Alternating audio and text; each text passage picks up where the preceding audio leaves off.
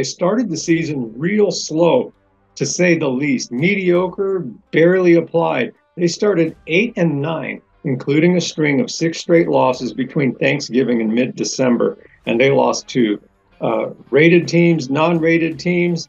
Uh, they really were not looking well going into the holiday season.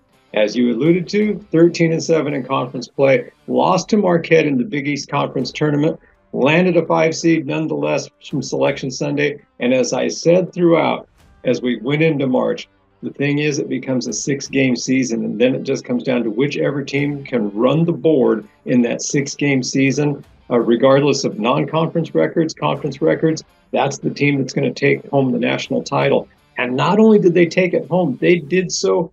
Uh, it was just a statement all the way. It was dominance, and there's no other way to put it. It didn't matter who they played, they were dominant.